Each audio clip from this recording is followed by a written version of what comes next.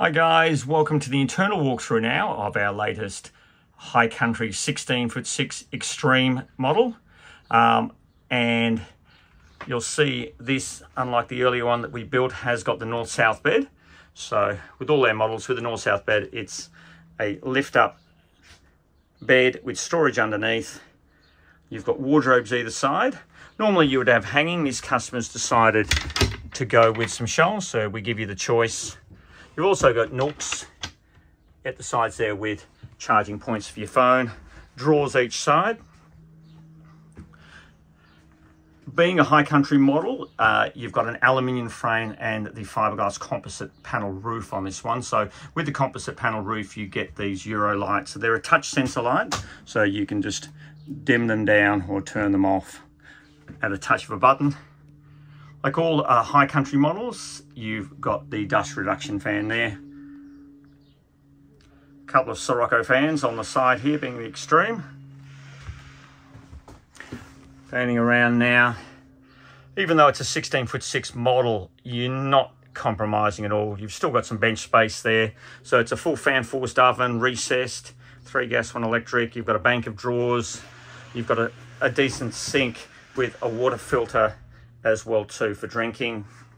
A little corner cupboard here beside the bed.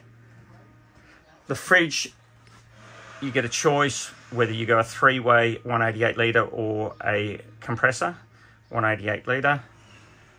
Panning around now, you've got an L-shaped lounge, so it's a decent sized L-shaped lounge and you've got a telescopic Nova Mapper table that can drop down to form a bed if you like. You've got a drawer at the end.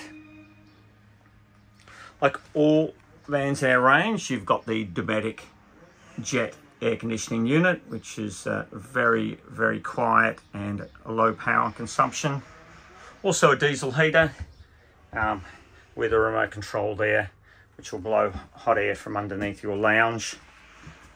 Being the extreme model, it comes with the Odyssey display. So you're probably used to seeing the Trek display. This is the Odyssey display. So it's a tablet style uh, control um, and that'll give you all your water levels and power levels, uh, etc. It's even got a sensor for your inside temperature as well too.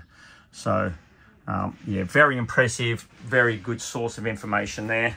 Inside the overhead cupboard is where your charger transformer is.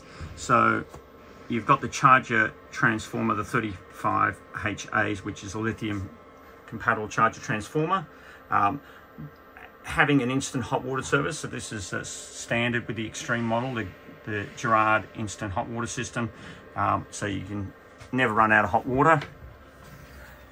Also too, being the Extreme model, you've got that DC to DC charger here. So even if you're not getting enough solar from your roof, um, and we've got three solar panels up on the roof, three 200 watt solar panels to charge those